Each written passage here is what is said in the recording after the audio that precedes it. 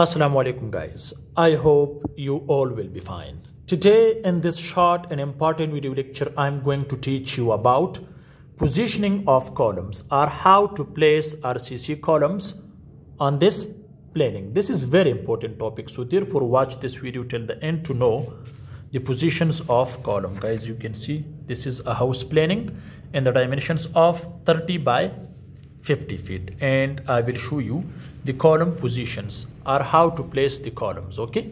This is the topic. If you need house planning structural drawing 3d animation for any type of building so you can contact me on this whatsapp number. This is my whatsapp number okay? This is paid services. This is my whatsapp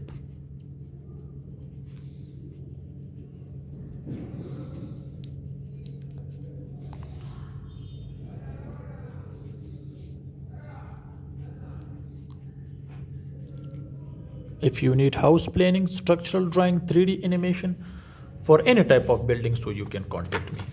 Let's get started guys. This is its front side. This is road side okay? So these two columns guys you can see this is for main entrance or for main gate which width is 12 feet okay? And size is 9 by 12 inches. Okay? So let me get start from its front Remember one thing guys, the principles of column position is that the column should try to, to place the column at the corner, okay? That will be better for you. So therefore guys, you can see here, the first column is placing, this is a bath and this is guest bath, okay? Guest bedroom, okay? So size is 12 by 10 feet. So here guys, I require to provide column at this corner. As you can see, this is the place to provide corner next guys if you see the length is 12 feet for this bedroom okay? Now guys you can see the bath is 4 feet so we don't need to provide the column at this place because this is just 4 feet. So therefore we cannot provide the column here. So the other column should be placed at this corner of this bedroom. So these are two sorry in this place.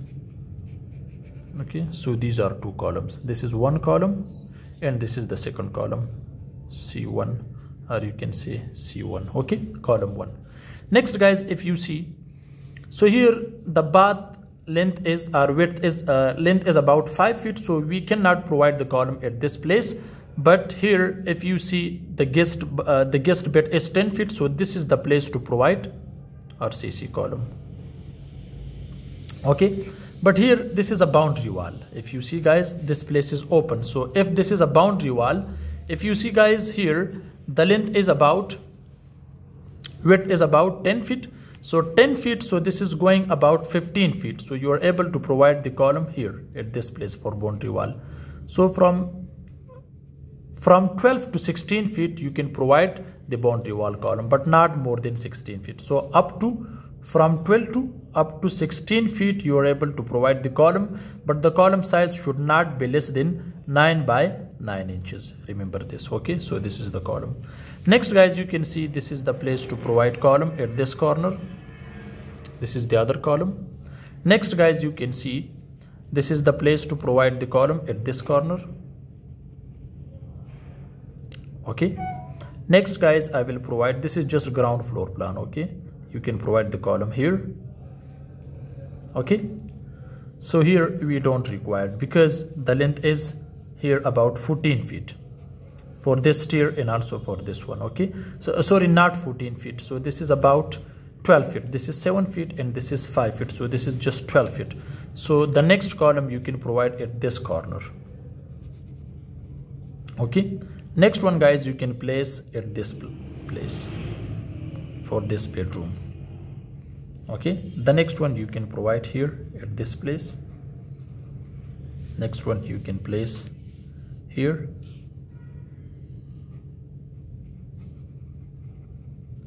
Next you can place here because width is 8 feet. Next one you can place here. Okay this is the corner for this bed you can provide here. This is the other one you can provide here. This is the corner boundary corner so important to provide here. This is 30 feet so provide the middle one here this is the other one corner. You can provide here. Okay now come here guys. This is the tv lounge. So if this is the tv lounge so you can provide here. No one is here okay. And the size of this uh, tv lounge is about 14 feet by 13 feet. Okay next one guys you can provide at this corner because this is important here at this place. Okay so here this is 14 by 16 so 16 is length and 14 is width. So already we have here the main gate and this is the last one as you can see. So here this is the way to place the RCC columns guys you can see. Remember one thing guys. From 12 to 15 feet the size or 16 feet the size of the column should not be less than 9 by 9 inches. And don't use less than 4 steel rods the dia of each steel rod should not be less than 12 mm the stirrup dia should not be less than 8 mm with the spacing of 150 mm or you can say 6 inches C slash C center to center.